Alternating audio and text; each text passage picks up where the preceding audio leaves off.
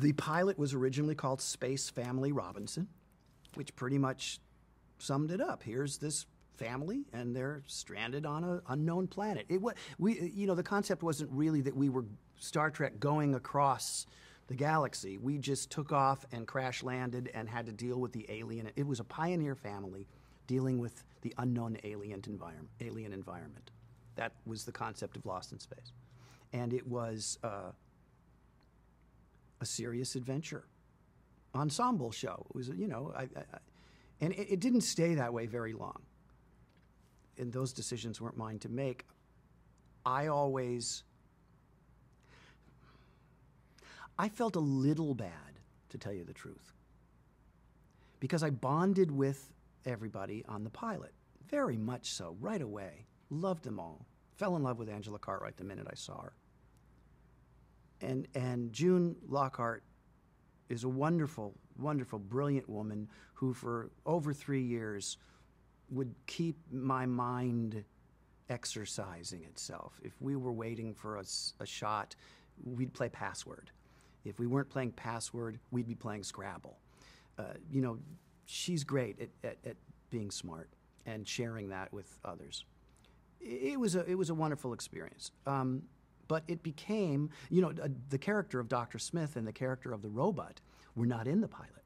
It was just the family and Mark Goddard, the pilot. So uh, CBS, which actually was smart to do, once, the series was uh, greenlit and we were getting ready to go into production, it was the, net, the network's decision to add a, a villain, a, you know, a, a nefarious bad guy that the audience was aware of was really a bad guy, but the family wasn't quite so sure about it. And let's have a robot. This is space. This is sci-fi. You know, let's put a robot in there. So uh, Bob Kinoshita, who had designed Robby the robot for Forbidden Planet, uh, designed our robot, the B9 robot, which is very cool. You know, I mean, the props and the ship and the, the chariot, and I mean, it looks great. It holds up. It really, I mean, I, I know it got really stupid, but it, it, the, the, the design of Lost in Space initially was really impressive, and God, I loved it. I just loved it.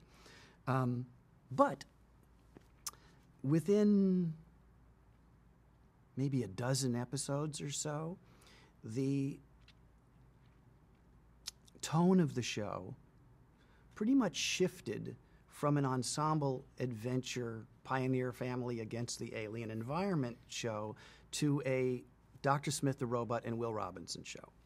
Now, being Will Robinson and being the good guy, uh, opposite Dr. Smith, who was the manipulative, cowardly, but, you know, bad guy, uh, I loved what I had to do. But I was very aware of the fact that my friends uh, were greatly diminished. There's a lot of talk about things, and I'd like to say, set the record straight. It was never an unpleasant set. It really wasn't. I've been on unpleasant sets. It was never an unpleasant set.